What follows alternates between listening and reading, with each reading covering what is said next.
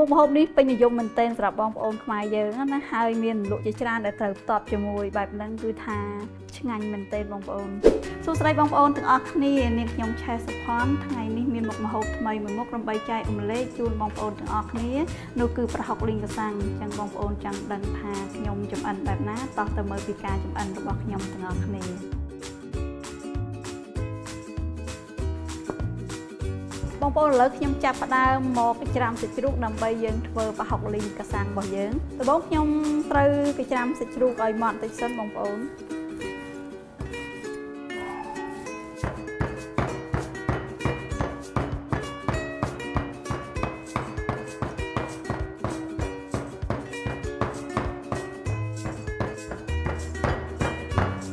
បងប្អូនសាច់យើងច្រាមម៉ត់ប៉ុណ្ណឹងហើយខ្ញុំបន្ថែមជាមួយម្ទេសចំពោះម្ទេសបងប្អូនអាចដាក់តាមចំណង់ចំណូលចិត្ត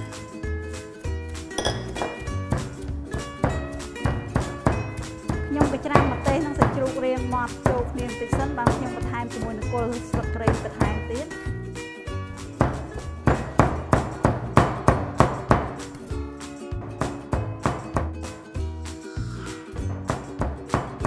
បងប្អូន បន្តមកទៀតខ្ញុំបន្ថែមជាមួយនឹងខ្ទឹមស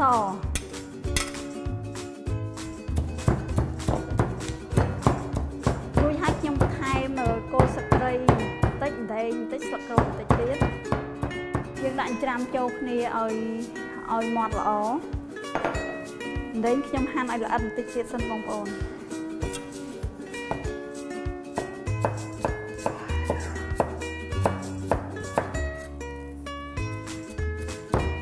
ខ្ញុំច្រាំគ្រឿងទាំងនេះឲ្យចូលគ្នាសព្វល្អបន្តិចសិនបាទខ្ញុំបន្ថែមជាមួយនឹង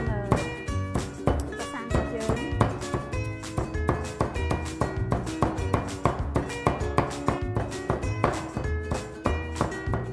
បងប្អូនឃើញថារៀងសព្វគ្រឿងបន្តិចហើយអញ្ចឹងខ្ញុំបន្ថែមជាមួយនឹងប្រហុកបន្ទាប់មកទៀតខ្ញុំបន្ថែមជាមួយនឹងប្រសាំងយើងដាក់ចូលគ្នាហើយមកយើង គេច្រាំចូលគ្នាឲ្យសព្វល្អបងប្អូនហើយមិនយើងយកទៅឆាបន្តទៀត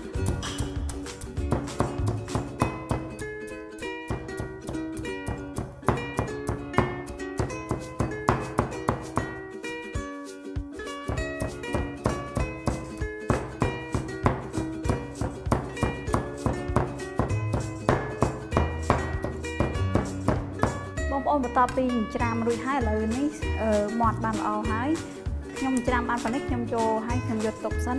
យើងរៀបចំឆាបន្តទៀតហើយគ្រឿងផ្សេងៗដូចស្ករប៊ីចេងអីចឹងខ្ញុំអត់តន់ដាក់ឲ្យបងប្អូនដល់ពេលឆាបានខ្ញុំដាក់ចូល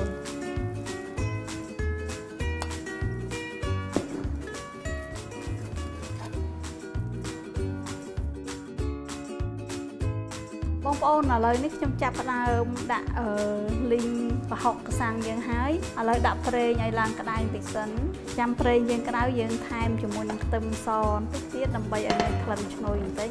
បងប្អូនប្រេងយើងក្តៅបន្តិចហើយយើងចាប់ផ្ដើមដាក់ខ្ទឹមសយើងចូលកូរឲ្យឡើងក្លិនឈ្ងុយបន្តិចខ្ញុំបន្ថែមជាមួយនឹងប្រហុកដែលយើងច្រាមរួចហើយហ្នឹង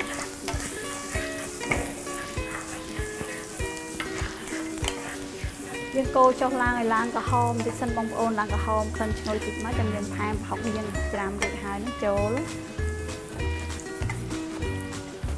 ឥឡូវបានប៉ុណ្ណេះហើយបងប្អូនអញ្ចឹងខ្ញុំបន្ថែមប្រហុកហើយ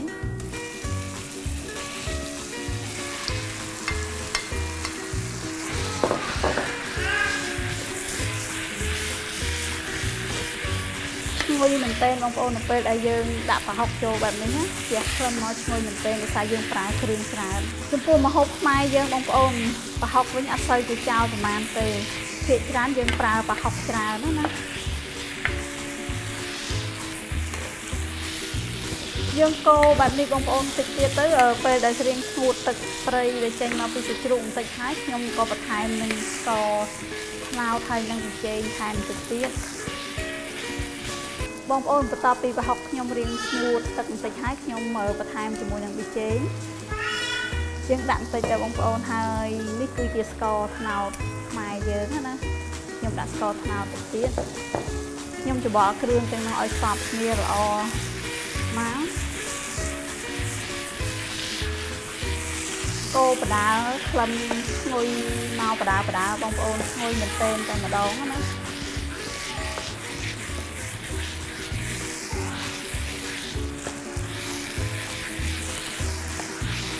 បងប្អូនឥឡូវខ្ញុំចាប់ដើមបន្ថែមជាមួយនឹងម្ទេសតិចទៀតហើយខ្ទឹមសហើយនឹងម្ទឹមក្រហមហើយខ្ញុំអត់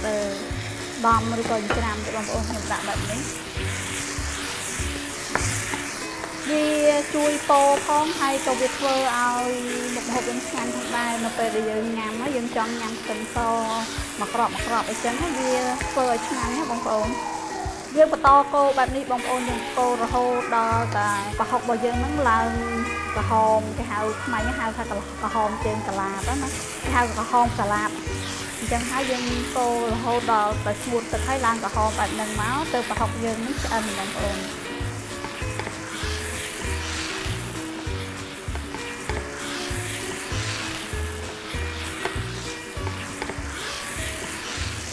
ឆ្អិនហើយបងប្អូន យើងលីងយកប៉ុណ្ណឹងណាមកល្មមញ៉ាំអត់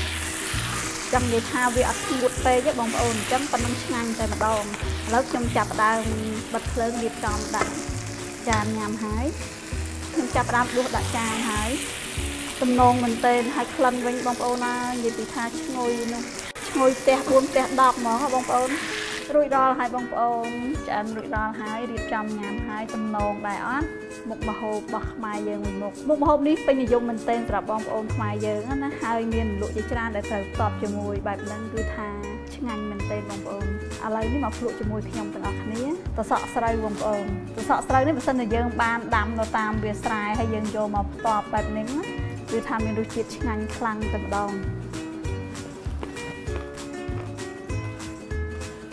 ពពាយបងប្អូនខ្ចីខ្ចីល្អមែនទែនញ៉ាំប្រហុកបែបហ្នឹងតើយើងញ៉ាំដៃអញ្ចឹងมันឆ្ងាញ់បងប្អូន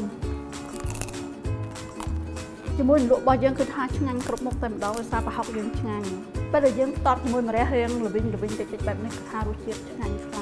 បងប្អូននេះគឺជារបៀបដែលខ្ញុំលេងប្រហុកកសាំងរបស់ខ្ញុំហើយសម្រាប់ខ្ញុំតគឺខ្ញុំតែងតែធ្វើបែបនេះហើយបើសិនជាបងប្អូនមានរបៀបណាដែលធ្វើខុសពីអ្នកខ្ញុំហើយអាចថាល្អជាងនេះញ៉ាញ់ជាងនេះបងប្អូនក៏អាច comment នៅខាងក្រោមវីដេអូរបស់ខ្ញុំបានអរគុណបងប្អូនទាំងអស់គ្នាសម្រាប់ការតាមដានទស្សនាការចម្អិនរបស់ខ្ញុំថ្ងៃនេះបងប្អូនកុំភ្លេចជួយ like share comment វីដេអូរបស់ខ្ញុំឲ្យបានច្រើនៗផងណាអរគុណ